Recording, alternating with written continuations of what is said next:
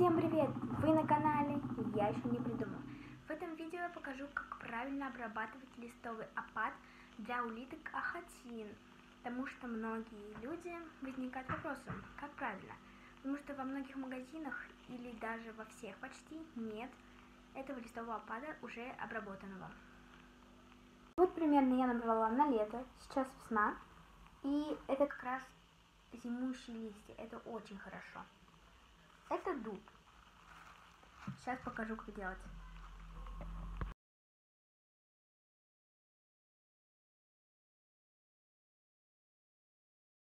Эту кучу я оставлю на следующее. А пока что я выбрала вот столько хороших листиков. Смотрите, какой красивый листик.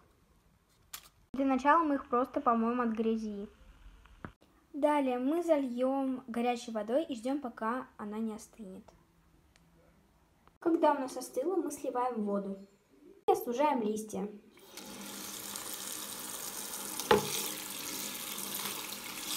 Выкладываем листья и потом мы их накрываем. И через какое-то время открываем обратно. А на этом все. Всем пока-пока!